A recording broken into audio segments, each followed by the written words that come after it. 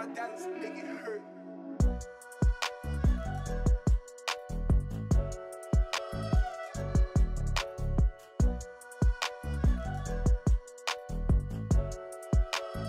Hello and welcome to Project Passion, the podcast made to inspire you to follow your passion and turn it into a successful business or career. My name is Johnny Thompson, and this week I'm joined by podcaster, panelist, and former gladiator Vogue. It is Suzie Cox. How's it going, Suzie? You all right? Oh, very good, very good. Thanks for inviting me. No problem. Thank you for being on the show. Um, as I tell everyone when they come on the show, I'm not the best at giving the introductions. I usually just keep them to one or two lines. But do you want to take it away and just kind of take the stage, let people know who you are, what you do in your own words? Yeah, well, as you said, a hundred million gazillion years ago, a long time ago, probably before most of your listeners were even born, I was a gladiator. So not quite as far back as the Roman times, but almost feels like it. Um, it was a huge 90s TV, cult TV Saturday night show. Um, if you haven't seen it, Google it because it's everywhere. Um, so that was, I, you know, prior to that, I was in international sports. So I'd done, you know, as a gymnast and then went on to do something called competitive aerobics. Again, Google it, you'll have never seen it. Um, so that toured me all over the world, which was amazing. And then I got auditioned for Gladiators. So did that for about five years. And then from that, obviously, lots of spin offs from doing that, which is amazing. So we do Panto, which is really fun. Uh, and loads of other TV, radio. I had fitness DVDs because I have a fitness background, qualifications. That's my sort of main prior life. Um, and then I met my husband on the show. Uh, he was one of the contenders. So since then, obviously, we've got married and we've had two kids who are now 13 and 15. So I stopped doing a lot of other work. I decided that was going to be my main focus and be, I call it professional mum because it is a full time professional job. People say, I'm just a mum. I'm like, no, you're a professional mum. It takes all your time and energy. Um, and then since then, obviously along the way, doing a few other things, but podcasting has been my sort of main go-to as well because it's really good fun and I love asking people questions. As you know, Jonathan, we started our chat and I was asking you all the questions. So I'm gonna shut up and let you ask the question today. Um, yeah, so, t- so now my life is still being a professional mum, but podcasting, presenting, hosting, and just yeah, meeting lots of new people, which is great. Awesome. Uh, so let's float back a little bit. As you said, you have been very active your whole life.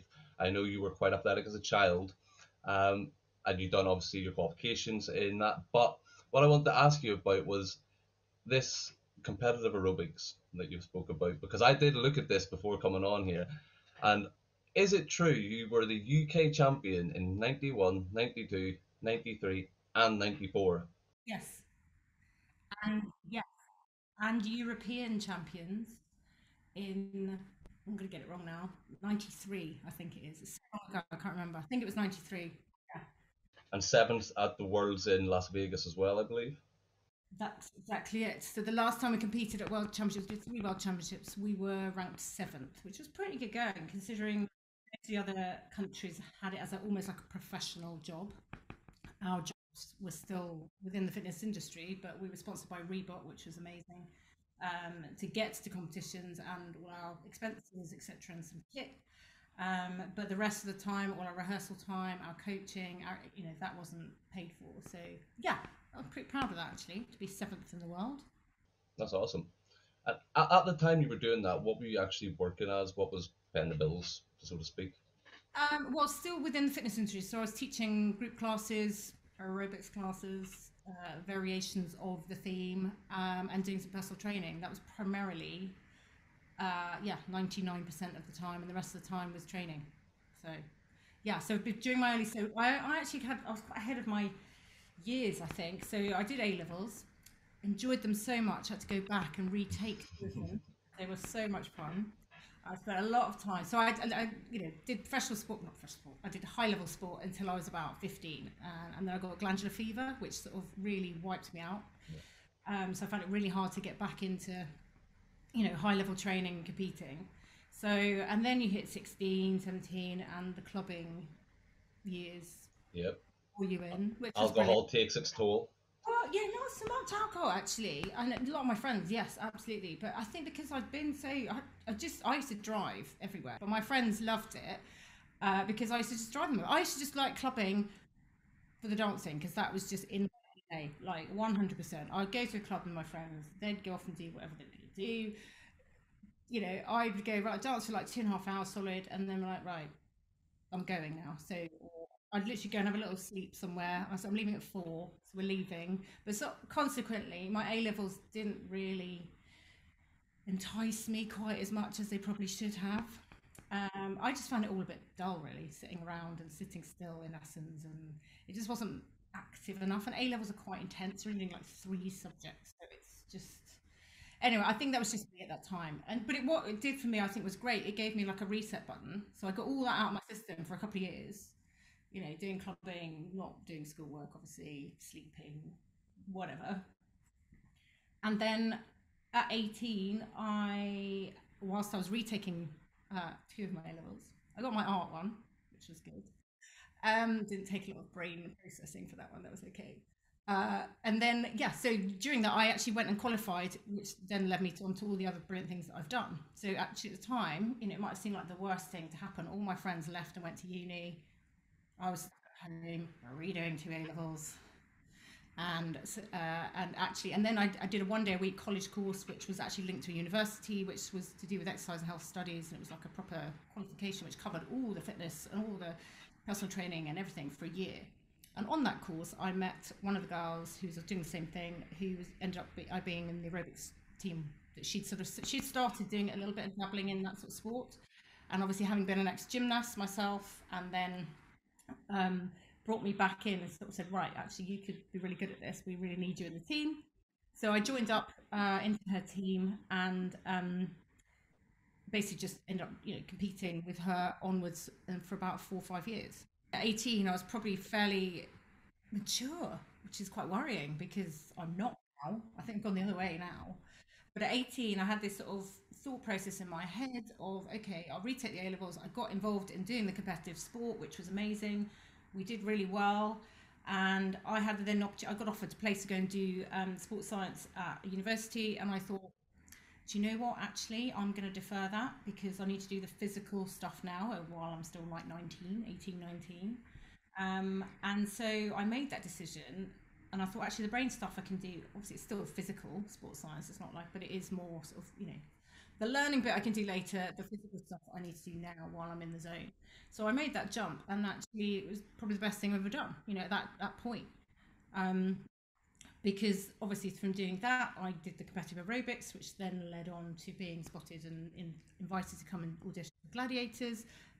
I actually got asked to do it for the very first series, but um, we just qualified to go to Las Vegas for our first World Championships, and I thought you know, and I'd seen American Gladiators, and I thought it was really cheesy and really awful. I thought that's never going to. Well, but TV back then, you know, late eighties, early nineties, was really safe and sensible. We weren't like that. Woo! You know, like WWF hadn't arrived. You know, it was like old. You know, I'm talking a long time ago, nearly thirty years. Well, more years ago. It was really different, and then obviously it made a massive turn, and Gladiators came on, and it was a massive hit. Um, I'd still carried on competing. You know, Jet, who was one of the original Girl Gladiators, she was competing aerobics at the same time. She'd put me forward for the audition because they were looking for some other girls similar to her. And I said to her, look, I'm not going to do it. I'm going to go to Las Vegas because who doesn't want to go to Las Vegas anyway? Um, And by then, all my friends who'd gone to university were doing exams. And I was like that, off to Las Vegas. See you later Exams, you know. Whereas when they first went, I was really jealous because obviously they were just in freshers week continuously for like months, and I was just like that. But so it worked out in my favour, and actually I do not in like you know sort of you must do this type of thing. But I do. I have taught a lot of teenage girls in in schools and things, and I do say to them, look, really, really, if you can, focus for that really short period of time. Don't do what I did, but if you get an opportunity, it's not the be all and end all to have to go to university in normal pattern of life. You know, yes, it's important if that is important to you, but if it's something you, you just have that sixth sense is just not right for you, there are many, many other opportunities and you know ways to go than just that normal academic route. You know, have different skills for different things. You know, I'm I'm okay. I'm sort of middle of the road academically. I'm not a complete, you know, bottom of the pile, but I'm definitely not up there. Um, but I have a lot of other skills that I think that are much more that you can't necessarily teach. And if you have those skills, people skills, communication skills are massively important. And that's something my husband and I both really home into our kids and try and encourage them to do. Because if you can speak and communicate with people, it helps you get on in life. You know, whatever you want to take. You know, if you can compute, it doesn't mean you have to be in front of the camera presenting and being, you know, showbiz, showbiz all the time. But just being able to communicate with people on a level and different types of people is a really important thing. So that's what I, especially now I talk for a living. We, we might as well burst that bubble now. The elephant in the room, gladiators. Yes. So obviously you were on the show 95 to 2000 you played probably one of the most fan favorite characters on the show vogue uh, even i remember watching vogue and you might i actually am old enough to remember watching gladiators as well because if you were on 95 2000 i'd have been you, yeah you would have joined the year before i was born so i was watching some reruns probably as well but um but yeah you're obviously a fan favorite um and you also came back in 2009, I believe, for Legend Last Stand. We did, yes. Um, so Gladiator, yeah, it was amazing. I mean, you know, it, it, it, was one of those massive, huge, iconic TV shows, which at the time, you know, was the prime time Saturday night viewing. You know, massive. Whatever age, and it covered all the ages. Like you say, it covered, you know, three year olds up to 93 year olds, and it was all that whole family because it was something for everyone uh, on the show, and the kids loved it because they could shout at the TV and you know shout at Wolf, and it was like panto with you know sport, and glamour, and yeah, action film and everything, you know, all rolled into one. Um, so the Saturday night was Baywatch, Gladiators, Blind Date. That was your three massive shows on a Saturday. That's all you needed. So the older, you know, the teens, the twenty year olds, my friends were all now telling me they were getting ready, you know, they were on their way out, they were getting ready to go out, or they're at uni, or, you know, going out for clubbing or whatever. So they'd be like around early Saturday night watching, getting ready, or eating, or whatever. And then you have all the families and the young kids are at home and the grannies, everybody. So that was amazing, obviously. Um, and then obviously, the sh- I think because the show had been on, I joined it obviously three years in. So it'd been on for like eight years, and it was such an expensive show to put on. You know, I mean, you can imagine the production amount of people involved. It was huge, and it did have huge viewing figures. But by then, or just starting to open up, and uh, with things like Big Brother, where TV production companies could earn gazillions by people phoning in and voting, and just drawing in people, you know, in a completely different way to just you know audience and show. You know, people could participate almost from home in the show and say, have a say in who stayed and who went and all that type of proper gladiators. I still think they should do. And you still you had a live audience as well, didn't you, for the shows? We did some early on. Again, to TV TV shows generally the, the audience stuff is is free. So they used to record all of the gladiator shows in the summer holidays, so all the kids could come. So it was two shows a day, so it was a long schedule. Two shows a day, seven thousand people twice a day in that arena. Wow. Yeah, so massive, wow. massive. Um, so amazing, but quite. I mean, obviously, I'd competed and I'd performed in front of quite big crowds and, and, audiences and things like that. But this was different because I was coming into it and I'd watched it. You know, I'd seen Diane, you know, Jet, and I knew, knew her. I didn't know anyone else. So when I was brought in as a new girl, being like a new girl at school, and two or three of them had been asked to not be there anymore. It was really awkward. Really awkward. It was like that. Hi. Luckily, I knew and otherwise, I think they'd all been like, you know, who are you? Yeah, so it's proper like, you know, ingratiating yourself into all these people that I'd watched on TV as well. You know, I didn't know them. Um, so yeah, the first sort of few rehearsal shows and days, and Panther was my absolute bestie and still is. Um, she was amazing. She completely looked after me and uh, took me under her wing and mothered me. So because I was like a new girl, um, and we're still really good mates now, which is amazing.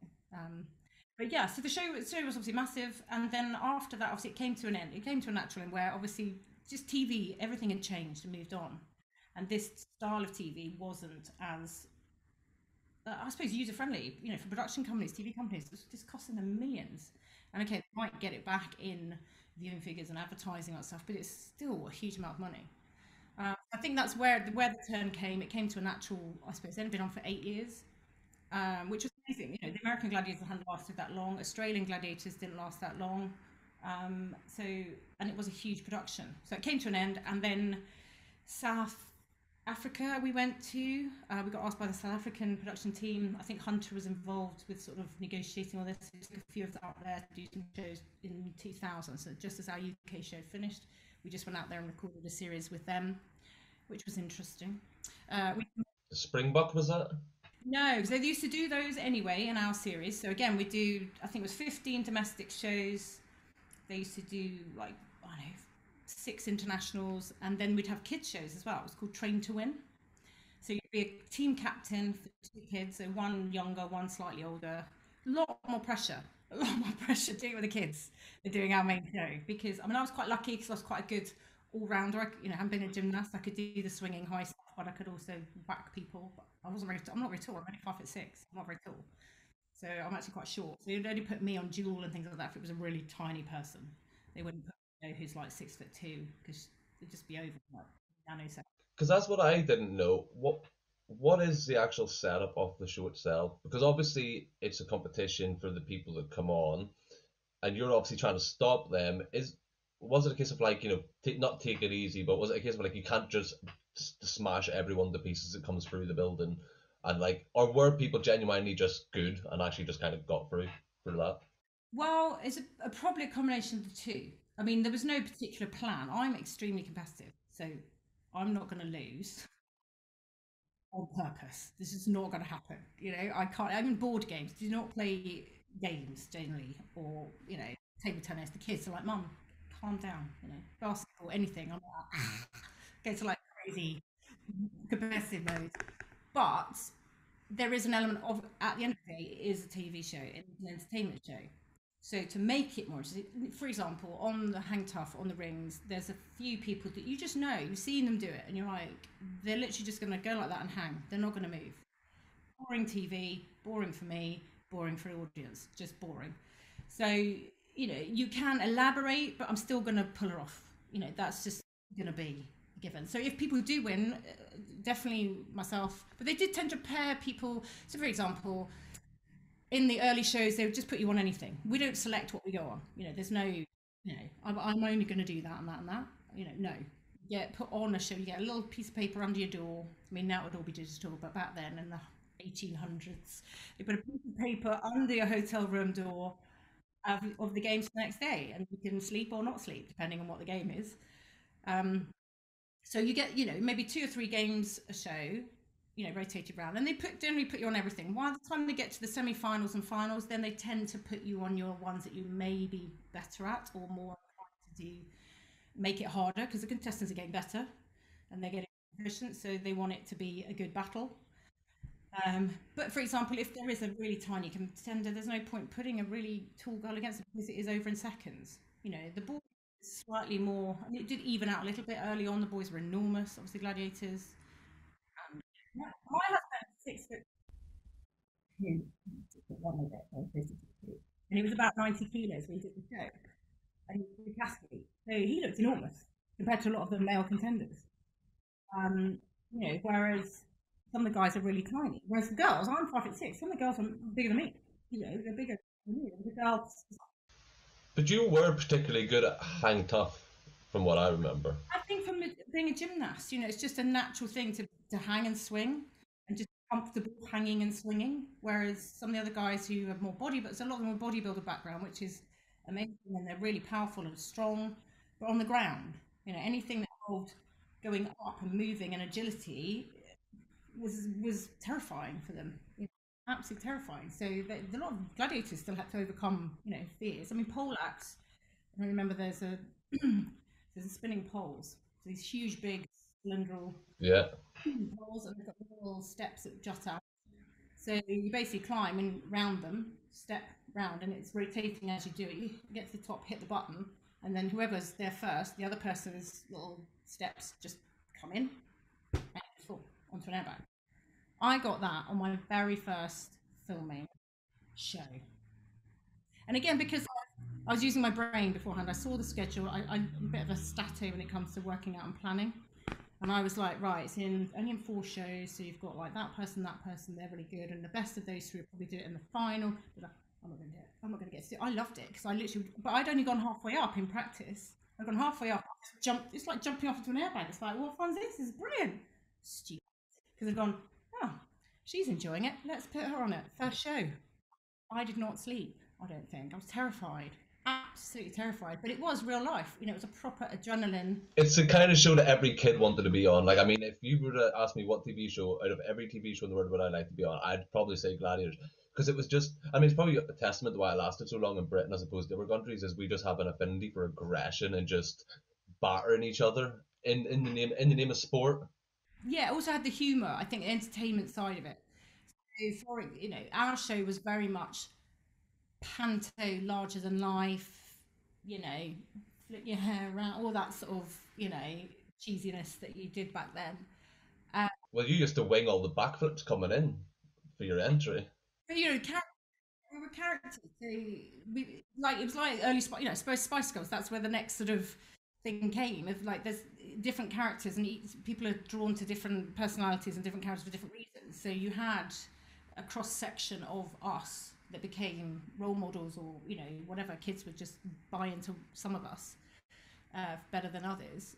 And and again you know follow us around the country and come watch the panto and just and like I said because it it covered all the ages so the kids who were three are now 40 no, no, they're not, you know, the 10 year old boys who we used to meet on show are now 40 so you're like you know they've grown up with it and they still love it you know because it luckily has been reshown and on various different channels well, what we're saying, so we, our show came to a natural end, obviously, but then they left it a while and then they relaunched a new show, Gladiators, on Sky.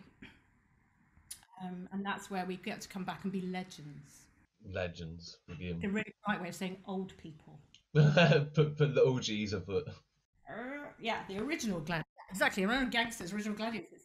Um, yeah, so my son, who's now 13, was so it's a long time ago. So he was he was just born I literally just had it, but and they were ringing, and I was like, seriously, I've literally just given birth.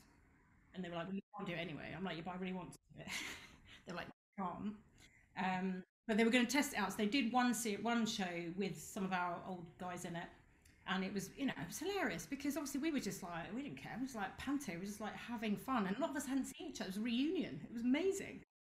But they knew one, they took themselves a little bit too seriously. Amazing show and amazing athletes but they were given a different sort of direction, I suppose, of how to be, and it was just a bit intense and a bit serious.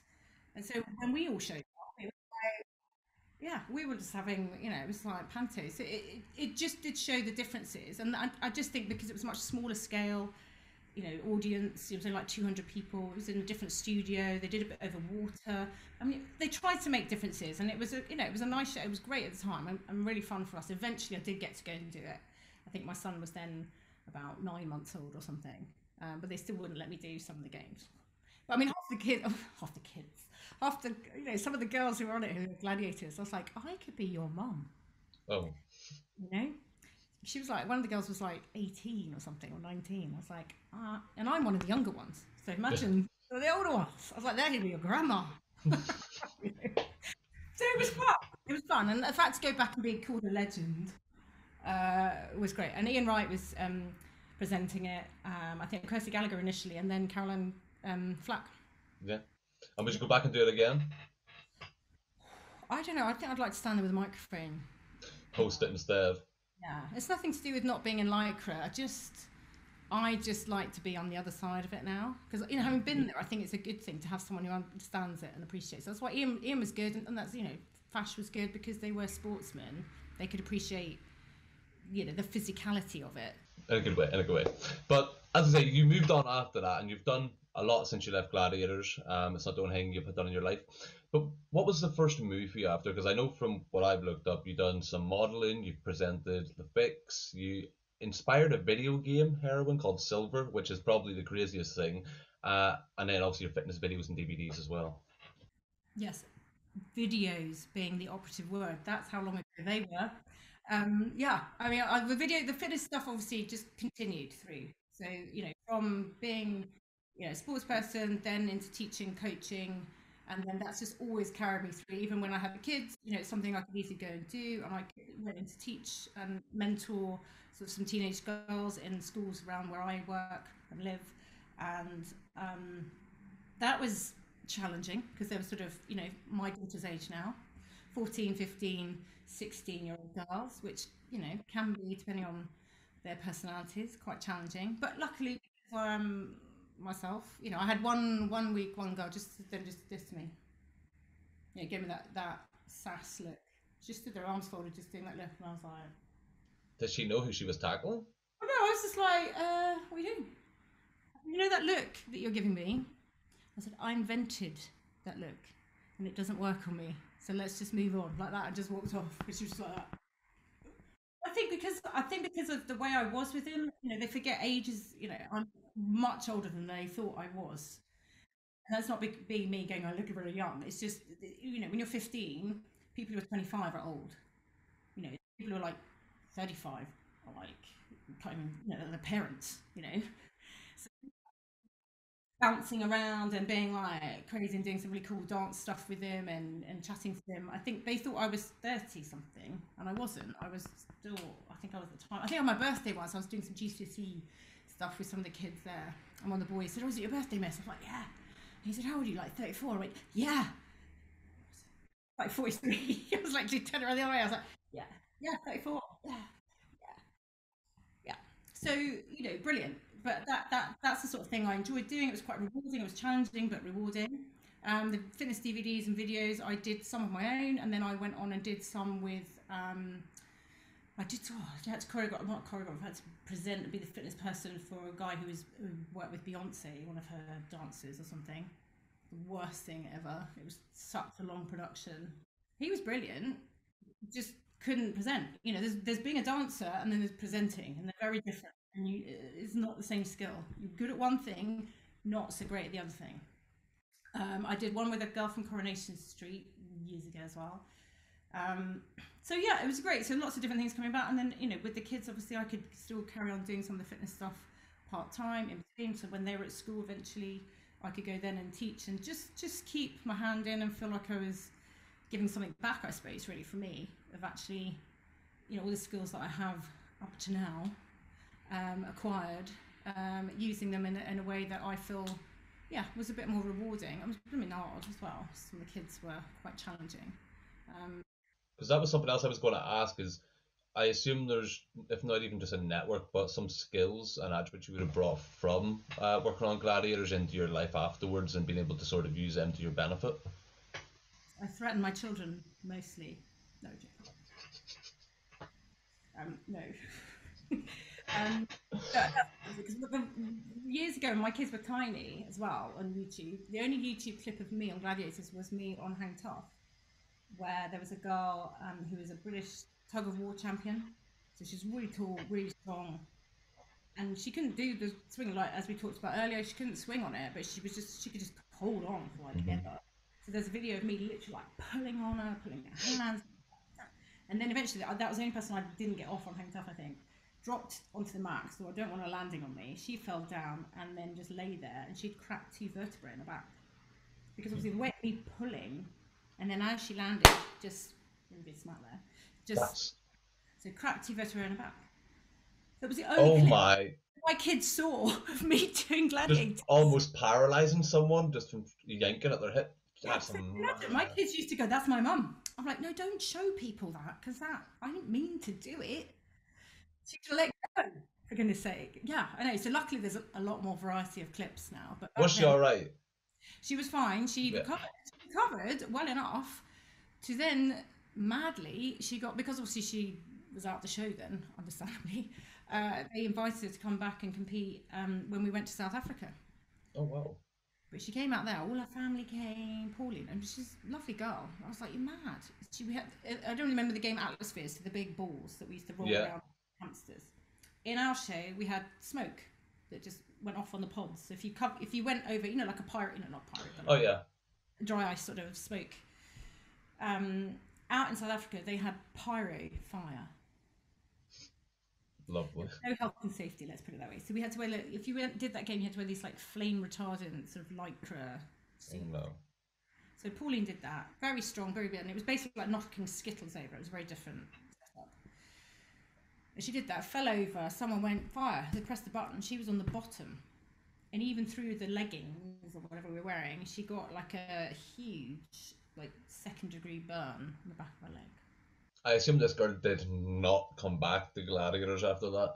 You are not, but her whole family had come out to South Africa to watch her and everything. And I just like, uh, Some people are just built different. This game isn't for you, sorry.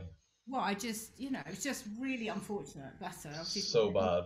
Get herself back because she was a super amazing athlete, you know, and very strong and physical, and it was just not meant to be. This woman is literally a tug of war champion, and you broke her. I didn't break her, I broke her by accident, but the second time was nothing to do with me. Um, but yeah, I just think you know, I mean, for example, the very first show I think I recorded, we have an end of series party, and because I'd never really, you know, I hadn't done it before or anything, I got to the end, and I was all these people like coming in and crutches and wheelchair, you know, because it was brutal, you know, and it wasn't necessarily us injuring them, you know, it was just they landed awkwardly or Yeah. Catch a foot in the net, you'll break your ankle in no time. on the Eliminator, which we weren't involved with. You know, that's the driving mad. People go, oh, so what's your favourite game? They go, the Eliminator. I was like, brilliant. I'm not in that bit. Thanks. The only bit I don't do, that's your favourite bit. It's your favourite bit. Thanks. Yeah. But that was a very exciting part of it, though. The Oh, Eliminator was insane. Yeah, yeah, yeah. I mean, that was literally the nail biter finish because it could, even if someone was like way ahead on points, it could still change. That would that would make or break the family that night. So it would have depended on who you're uh, you sort of cheering on that night. Yeah, definitely, definitely. Yeah, and my you know, same. My husband did it, and he'd actually so he got to the quarterfinals, and then I think he did the gauntlet, and Warrior sat on him at the end because he used to be a rugby player and a decathlete, so he was quite good at you know getting round and also being about six foot ish. Six foot two. He was bigger than most of the contenders that the boys were used to have, you know, going Yeah. I think because he got near to the end, Warrior just sat on him, and then they squared up to each other a bit. Mm. Anyway. But it all ended well. It all ended well. But he didn't win, did he? He got the best prize. He got me. Oh, well, I, I was going to say there was that. Uh, you might not want to talk about it. Was that during the show or after the show that you would have met him first? I met him during film during filming his show. um, but weirdly, so so what happens? I remember the show originally. They um, as they're introducing each contender on the show, they've got a little bit of footage of them at home or doing their job, or you know that sort of interview with each contender to know them before they are introduced into the show. More little you know clips that come on through their show.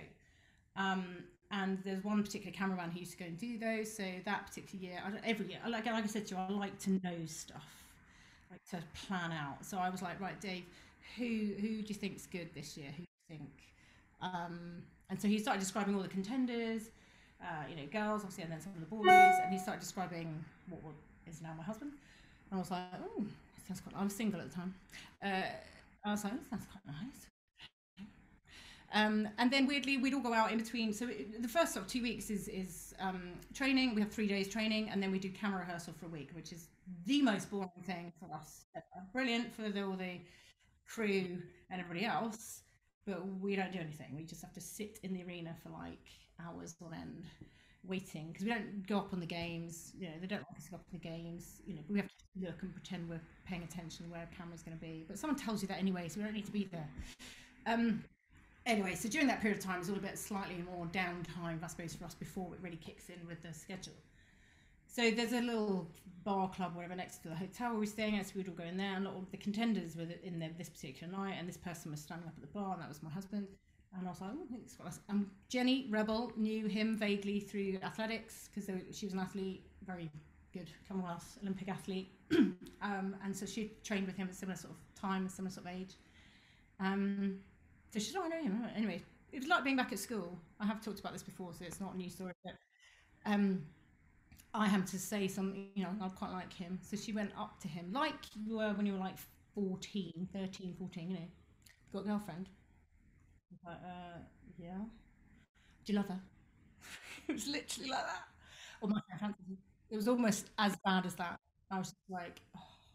And then it spreads like wildfire through from the director down to everybody, all the crew, every single person knew. I hadn't even spoken to him at this point. I've not even spoken to him myself at this point. More times, anytime we were sort of vague, you know, vicinity together, they'd be like, "Well, the others, oh, it's him, him, him, him, him." I'm like, "Yes, I know. This is really embarrassing. Can you I don't even know what he's like. He might be awful. I quite like the look of him." Um, and eventually we did have a conversation and eventually we did drive out away from everybody and actually, you know, have a coffee and just go hello as two normal people, as Susanna Mark rather than Vogue and Contender, because it was very much them and us.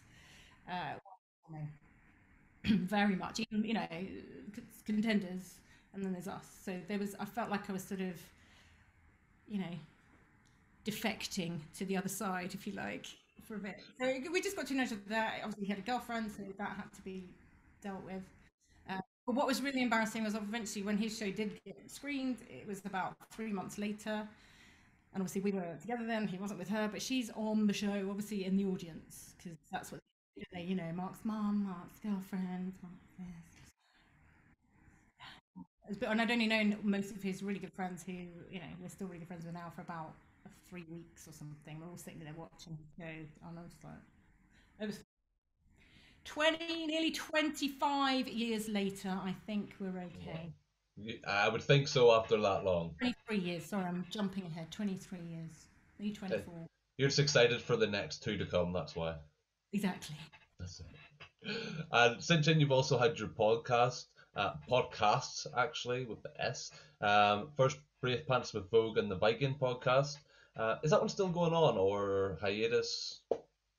Still, it's still out. It's still you know launched. You can listen to it by all means. We haven't continued that again. Like yourself, you know, you were talking earlier. You know, I obviously done bits and bobs, and we we'd sort of done the brave pants thing. It was it was a really fun thing to do, and again, it was really easy-ish thing to do, and it was more of a right, we've got this bit of time. It's something we're both really passionate about. Women specifically, just going and doing stuff they've always wanted to do and not being afraid to go and do it. So it's that whole idea of you put your brave pants on and just go and do it. Whether you want to learn to sing, you want to be a forest you know, you want to jump off a bungee jump, whatever it might be. It doesn't have to be crazy, but it's something you've always wanted to do, not people are forcing you to do.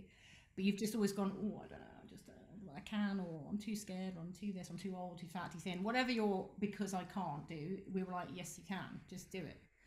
Um, so that really came about. So we interviewed some amazing female guests who've either done massive life changes or gone out and put their brave pants on and gone and done something. So that was really fun.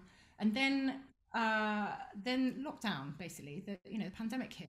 We were just starting to go and do some events. We were being booked for like International Women's Day last year to go and do some seminars and webinars and workshops about being brave and you know because that's something that I love to do. I love live events. I love standing in front of people. You know, I've got used to this, but I much prefer being in front of people and a real crowd and getting that banter and introduction. One on one, it's fine, but if you're in a group um, presentation, it's really flat, you know, because people can't all talk at once. They can't, you know, on Zoom or whatever it might be. It's just not the same. Um, so we just started to get booked for a few of those, and obviously then the pandemic and, and lockdown. Um, and then Anna, who I was doing at the Vikings, she we called her Viking. She's not gladiator, but she's just very tall and Swedish. And we'd known each other about ten years ago, and reconnected. She just moved back again to London, and she kept calling me Vogue the whole time. We went for a bike ride, and I was like, "What are you doing? What are you doing? What's wrong with you?" You know, I was like, "Right, I'm going to come up with a name for you." And I, you know, Ice Queen and various other things because she's really tall, really tall, and very blonde, very pale. I was like, right, Viking. That's it, Vogue and Viking. Brilliant. And then then we went, right, we need to do something with this. This is just such a cool name. That's how we literally went and we're like, Brave Pants, you know, we tried, we had this sort of long winded description of what we wanted it to be about, but we needed something short. We're like, Brave Pants. That's it. Um, so we've done quite a few. I think there's about 18. So each week we'd have a, every other week we'd have a guest, and then in between weeks would just be us downloading, talking shit about something that happened that week or what was in the news or something that was annoying us or whatever um, just a quick 15 minute one. And then, so that happened. And then Anna has very much younger kids than me. And I think, you know, homeschooling is hell. Uh, I'm minor teens, so they're pretty self sufficient, but you still have to be on call a lot. And the stress or, you know, technical issues or something, or you've got to do DT, then you've got to find 15 cardboard boxes in like two seconds you know, that you haven't prepared. so there is that, but, but younger ones, it's very full on. And, I, and she really struggled to um, get her head around doing anything else around that and a few other bits of work that she was doing. So it's not completely shut down, but it's just put on hold for now. And then, like you, I just went right at the end of 2019. I went, yeah, brilliant. This is it. 2020 is the year. I'm going to put myself back out there, do some presenting and events, and I was getting really excited. And they're like, eh, pandemic down, no entertainment industry, no live events, no nothing that I love to do. So I was like, right, okay. So luckily, I started working with a few uh, people who've been helping, which was great. I, you know, invested time and money into myself, which I haven't done for a very long time. Uh, most of last year, which was great. So I worked with them like a mindset so a person uh, called Liz Ward, who's got a company called Slip Pivot, and she pivots basically. So I sort of went to her and I said, look, I've done this, I've done that, I've done this, I've done this, I've done this, done this, I've done all this stuff. I don't know what to do with it. What can I do? Put it all together and make it make sense to do something. Uh, and there's a pandemic and there's a lockdown. And so my big, big, big idea, and I still really will hope it happens one day, is to have a huge live event which incorporates all the things that I love. So, you know, food, you know, people have to eat, but that's not one of my huge passions. Uh, but more sort of fitness, fashion, food, and fun. So it ends the whole day is like lots of cool stuff. It's like a festival, Cirque du Soleil, and ends with amazing DJ set for about three hours. I cannot wait. So Sign me up, take my money. Still in my head, it's still there. I'm gonna have plans all over my walls, ready to go. But obviously, I started planning that, spending about two months early on in lockdown. I was like, this is, I'm just probably uncomfortable doing this now because I can't even research. I can't even go to other events. I can't look at venues. I can't do anything.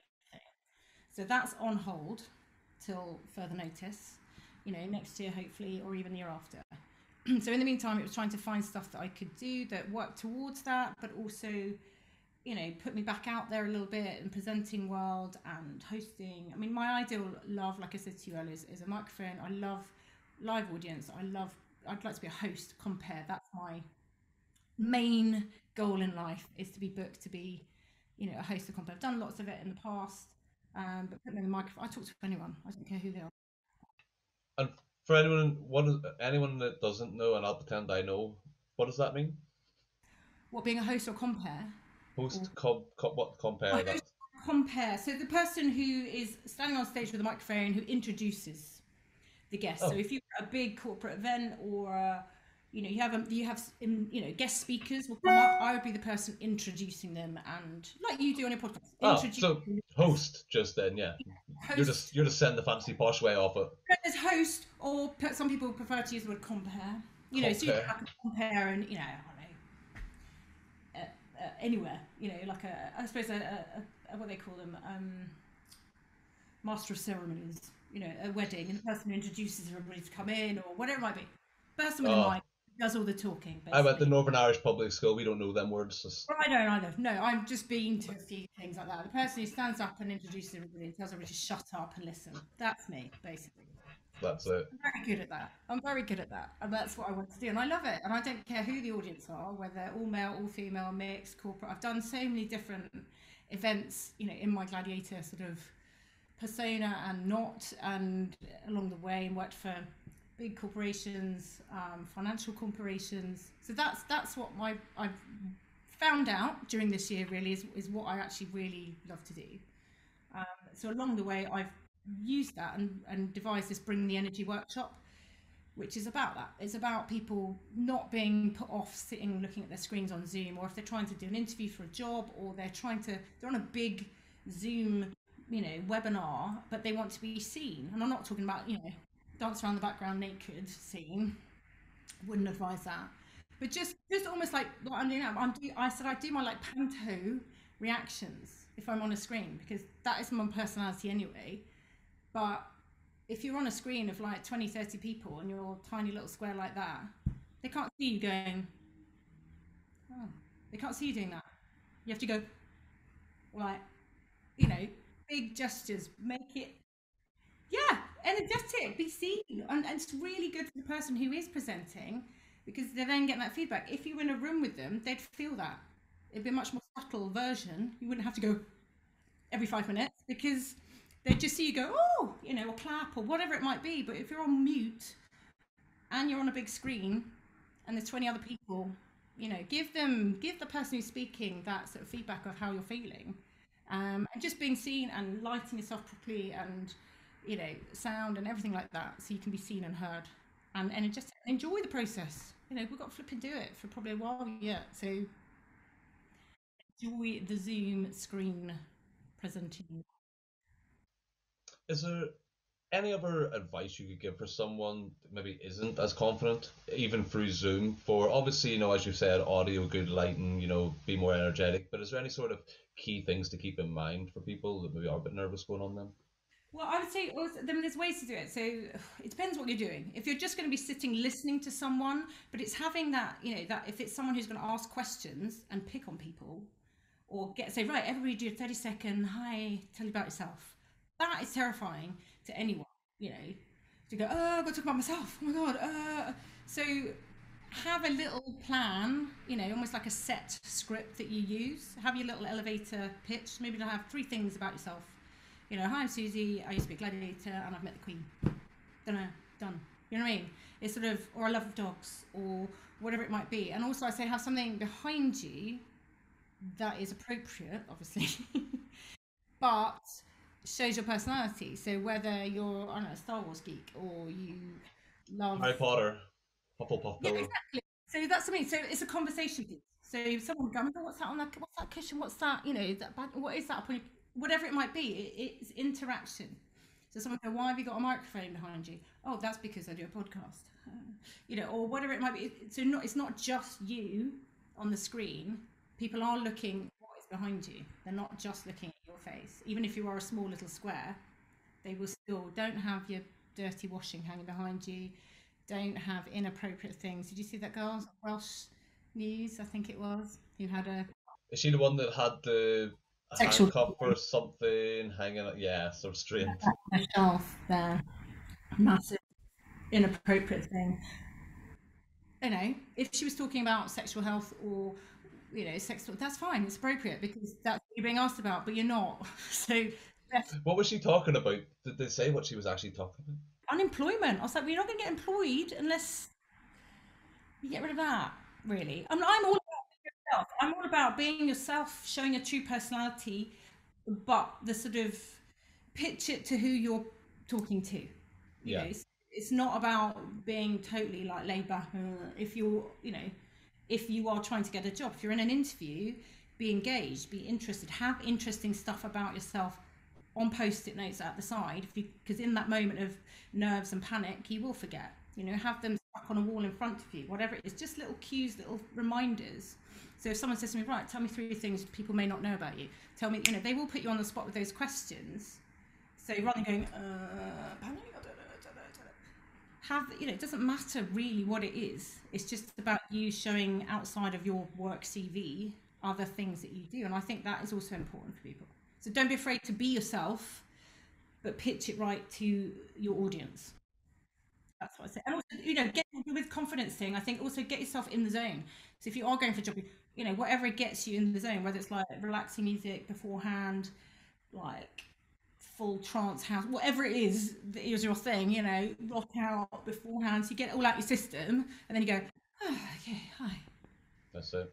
You know, that is what I would suggest. It's like getting ready for a sports event. For me, it's like it's the same thing. It's preparing for a competition or whatever it is. You get everything ready, you get your kit ready, you get your tech ready or not, as the case may be. um, as much as possible to be ready so then you haven't got all those other distractions going on, and you can just focus on what you've got to say. Because I think my most awkward bit doing podcasts is, and people that watch won't even notice this because they only see the zoomed in on who's talking bit. But when other people are talking, obviously guests have a lot bigger segments than me, and I just usually sit here going, because I don't know what else to do. I'm like, I, am like, if I smile, they're going to think I'm really weird because I shouldn't be smiling. But I just, like, I'm engaged. That's why I just I focus in, no, and I end up just staring at the camera, going. And then I'm like, this guest must think I'm way weird, way weird. Because if you look at, if you watch any TV interview, especially if it's pre-recorded, so they'll have, you know, especially if it's like two people talking, you'll have the guest and you'll have the interviewer, and you'll have the the shot of the guest saying what they're saying, and then you always have the shot of the interview going I've done it a million times. I'm like, this is ridiculous. This is so not what I would be doing if they were speaking to me. But they do that quick shot of you going, oh, mm, that's really interesting. No idea what you're talking about. And no one's sitting there. I'm not listening to anyone, but I'm just going to nod as though I'm really interested in what you say. You are generally watching someone speak, so it's completely different. Yeah, but that's my thing. And I know some people as well. I know a lot of podcasters who actually don't like talking, which is a really weird thing when I've talked to them about it. And yeah, yeah, I had, I had a conversation with a podcast. I'll not say it, but I had a conversation with a podcaster who enjoys interviewing people, but in like short form questions. So like he'll literally give them like the tiny snippet and then just have them elaborate pretty much on the entire thing because he doesn't like talking, but he likes hosting the podcast.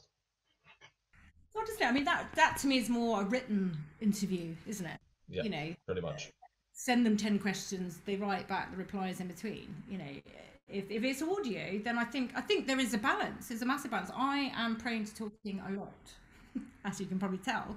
So when I'm interviewing people, I have to occasionally go right, shut up, listen. It's, about them. It's not. It's not that I'm about me. I'm just. I've got so many questions I want to ask. So many things I want to say. They're relevant to what they're saying, and I get too excited. So I have to like.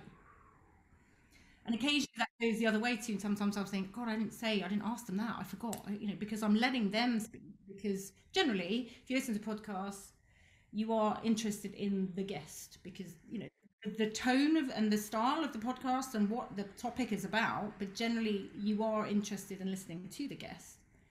But there's also those questions that you at home want to ask that you want them to ask as the interview. So you've got to get that. It's it's hard because yeah, I'm prone to talking a lot. Well, I mean, for you, it's probably a bit different for you than me because obviously you've had what a lot of people would call success and what you've done in your life. You've met quite a lot of probably high profile people in your lifetime. Whereas that's pretty probably second nature to you now. For me, it's still like that little giddy bit of excitement. Like like when I knew I was going to come on and speak to Vogue from Gladiators, I was like, I like I was like a boy again, a little child again. Yeah, but I think everybody's excited. And I get that with everyone. I'm excited. I like being like because I'm normally asking the questions and I have to stop myself doing that.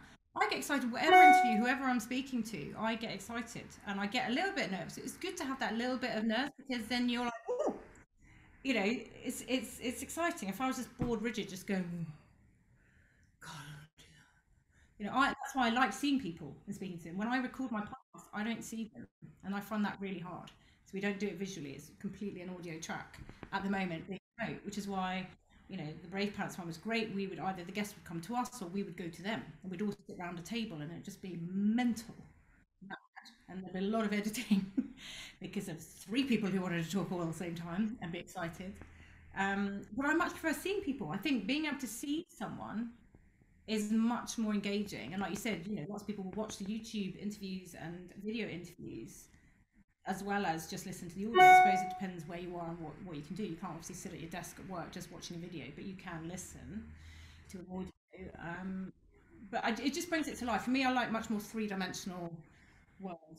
You know, I like real people meeting real people in real room, and this is the next best thing. Seeing people just talking. I know I've just done a lot, of, quite a lot of voiceover work as well, and that's really quite tricky. It's, it's harder than you think to do and pitch correctly because obviously on the on the podcast it all has to be like I talked we talked earlier about you know you have to be excited and have a little bit more interest in your voice and sound like an advert when you're doing the intros and outros. Whereas this one for this kitchen appliance company had to be much more and I was doing it at the same time as I was doing a lot of the intros and outros for my podcast so I had to keep thinking right okay. Head voice for the kitchen stuff. And woo how does that work for voiceover then? Because if it for a kitchen advert, is it literally just a rolling advert of like B roll and then you're talking over it? This was um, an original, the video they already had, and it was an American script and voice, and they wanted to make it more for European market, so they changed the script slightly, but um, it was hard because we were trying to fit the original i transcribed the original uh, script and then they de-americanized it if that is such a word but you know what i mean. Um, and then we had to try and fit that script to the original video which was i didn't do that bit because that is not my expertise of any technical which is why i'm so excited about what you do because i couldn't do that at all. So actually you know i can talk and if someone sends me the link and i plug my microphone in normally it works. Um, and I can do that bit. Um, so we were trying to, and it's trying, it's timing and pitch and making the words. And some of the words I've never even heard of. I mean, it's quite a high tech kitchen appliances. I don't really, I do cook, but like, you know, I'm not a chef or ever will be or ever want to be. So a lot of this stuff was like, it's completely wasted on me. I don't know what half these terms are. You know, I was like, you cook, you boil, you grill, stick it in the oven. Yeah, what more do you need to know? You don't need to know your glassware and stemware for the dishwasher. Glasses. Glasses, glasses, surely. You know, so I was, you know, so a lot of it's quite, it's quite tricky trying to get that exactly right and fit it. So I'm just waiting for them to, okay, we've done it all and sent it in. But it's quite, it was 11 scripts, so 11 different appliances. Each one had a different script. A lot of it doubled over and, and repeated, but again, each one had to be. And there's certain words I just realised I could not say in a sentence without sounding like I was slurring or, couldn't pronounce something. So it's, it's harder than it appears. Than it appears. And you also have your new podcast that recently just released, Top. Do- Yes. Wait, let me get it right. Top Dogs and Their Humans. Perfect. Yes, very excited. So that came about again through the whole pandemic lockdown uh, era. It was meant to launch before Christmas, um, but due to various lockdowns and people involved, it got a bit delayed, which was fine. Um, I was putting lots of pressure on myself to get it out there, and I was like, "Why am I doing that? I've commissioned this. No one else has commissioned it. I've commissioned this product. Why am I setting these stupid deadlines?" so we've got six guests. It's all recorded. It's all ready to go. The first one was launched last Wednesday. Uh, so that was Karen Hauer, who's in Strictly, um, and she's got. It's all about basically human connection through dogs. It's a, I, my, my idea in my head was like Desert Island Discs, but with dogs, not discs. So sort of getting to know people, going behind the scenes a bit into their life, because people who have dogs talk about themselves through their dogs.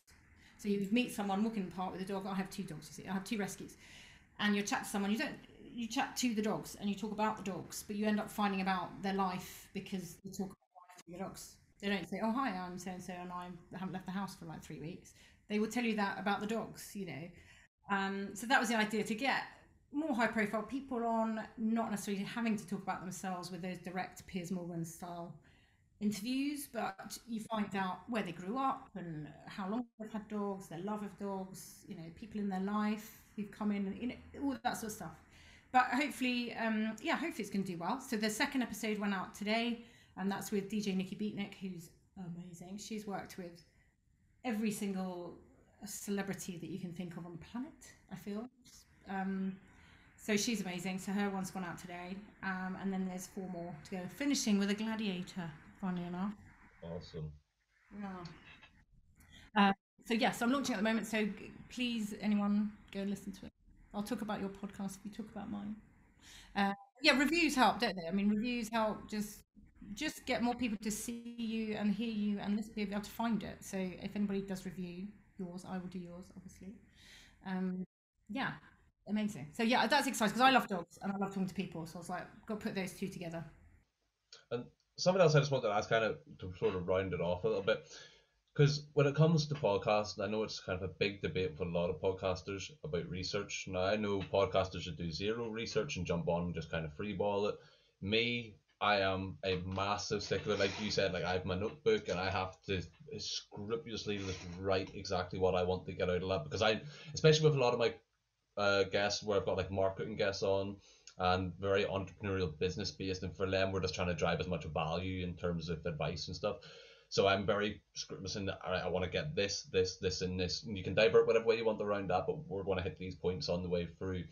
But how do you obviously research? Because yours would obviously be very different i assume going in because it's more dog based than human based Well, it is. Obviously, it helps.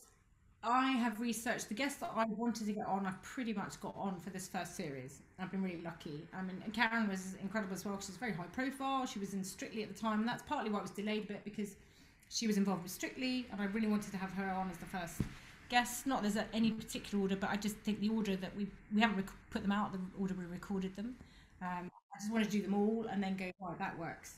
Put them out in that um, just again there's a little bit of variety and, and what i think are the most fun episodes someone else will think no i really like that person or you know again like we talked about the, what I like and what other people like very different, and that's great. So we try and have. So we've got two male guests, we've got four female guests. Everybody loves their dogs, and that was the the bottom line. Every you know it was about dogs primarily, but interesting stories behind those dogs with the people. Um, so for me, yeah, I, I researched. I mean. Uh, I probably researched them as far as just having I have a, a set format of the type of thing I want to say, a bit like yourself, probably. You know, maybe like five key things and finishing with a generic thing that I ask them all. You know, if they were a dog, what dog would they be and why? Just like you say, just that conclusion end. So it's the same because people sort of look forward to that. People get in a pattern listening. I know I do with certain podcasts. I like to know that that what's that finishing line. It's like and in other news type of thing on the news. There's always some finishing yeah. question generic that's the same for everybody um, because the stories throughout will be very different. So it's quite nice to have that sort of repetition at the end. Um, but as far as researching them, I like, again, just having a bit of an outline, but I don't know everything. And so a bit like you, just go with the flow a little bit. I prepare, but I also go with the flow because they might just start talking about some story that I've never heard or, or don't know about them. And it's amazing. And you're like, you just got to go with it. So um, think just for me, just remembering what you want to talk about. You know, for me, it's the human connection about the dogs, but I also want to hear funny stories. You know, I don't want it to be all doom and gloom about rescuing dogs and you know poor dogs who've been treated bad. You know, there's an element of that, and each guest gets to talk about a charity of their choice as well. So that was really important to me. So each podcast episode there's a mention or a website link. And for the launch last Wednesday, we just did again because a lot of people got so much going on at the minute. I don't want to put any pressure on people but it was a donate and dog walk, so it was literally take your dog for a walk like you normally do, and you know, please donate the cost of a coffee for yourself and a friend, fiver, if you can. And lots of people did lots more than that. We've raised like you know, just under, well, I suppose just under over a week, um, a thousand pounds, which was brilliant. Wow! Congratulations. So that's for the Wild at Heart Foundation, who you know rescue dogs all over the world. So for me, that was a key one, and two of the guests. It's one of the charities they support, so we went with that one. So that was the idea. It's just trying, you know, there's, there's always for me, it's always a give back. I really like that sort of feel good factor. I like to give back, and I'm really bad, really bad at getting asking for money for things. I hate that. I'm really uncomfortable. I'm really, I'm, I, you know, I'm, I'm financially driven. We talked about this, but I'm really uncomfortable. I think it's probably because in a, you know, my past life, I had a manager and an agent, and all these people done that for you. That for you. So I, I don't even like it. I don't like when I just teach classes. I just like just put I don't want, don't want to see. I don't want to see the money. I don't even look at it, you know. And it's not because I don't want money. Of course, I do want money. Everyone wants money. I'm just really uncomfortable. I'm uh, not good, and that's something I need to get better at. I need to get better at just going right. This is the fee, and this is it. I would do everything free otherwise, and my kids would be very hungry. not good. No, that's something I would say I need to get better at. You know, that's one of my things to work on. And I like you said about rounding up, how we round up here is just asking where can people find you? If people want to come watch your podcast, they want to come find you. Your social media handle will have already been on the screen, but for anyone else, links will be in the description. But where can they come find you? Um, well, there's two ways. Obviously, Instagram at Suzie Cox Live and at Top Dogs and the Humans. That's the two main ones I use now. Um, I'm on LinkedIn, Suzie Cox, and also um, a website is in motion it's been a long process because totally down to me because I'm just rubbish at passing on the information to very clever people who are making it for me who are lovely. Um, but suziecox.com will be live very soon, and that will be a central hub with all the stuff. So stuff about gladiators, stuff about podcasting, events, everything should be in one. That's the idea: is have everything in one place. But LinkedIn, I pretty much I do myself. So lots of stuff that I'm doing is always on there, if not on Instagram. I'm on Twitter as well, but very rarely. I think it's Cox One Suzie. There we go. well, same as always, guys. You know, links will be in description below. Please go across, check out Suzie, check out her podcast, go and have a look. Um, I know she'll definitely appreciate it. And as she says, leave reviews. Reviews are key for what we do. We really do appreciate them. And that's it, guys. Yeah. Obviously, want to say again to you, Suzie, thank you very much for coming on. I do appreciate you taking the time out of your day to speak with me. Great. Thanks for inviting me. No problem. And hopefully we can catch up again at some point in the future as well. See how your podcast's been getting on coming through this year. Yeah. Exactly. We're going to put ourselves forward for podcast awards. awesome. Well, yeah, not the first week, guys. Please remember if you are watching the YouTube version, go down, hit like, and hit subscribe if you have enjoyed the content. If you are listening to the audio version, you can go across, follow the podcast on Spotify, Apple Podcasts, anywhere you are, and you can also leave a review. Uh, the review link is also in my link tree if you want to get the quickest and easiest way. Hit that, and you can go on to my Rate My Podcast, leave a review, and it kind of correlates them all together for me. It's a little bit easier to look at. But yeah, that's it for this week, guys, and we'll be back again next week. We'll have another incredible guest on talking about their life, their motivation, their story.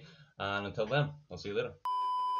Hello guys, how you doing? It's me, Jack, mate. You've just finished watching probably one of the best videos on YouTube. So why not take a moment to consider subscribing? And if you haven't already, hit the like button and turn the notification bell on. Apparently it helps. I don't know how. It was a good enough, wasn't it?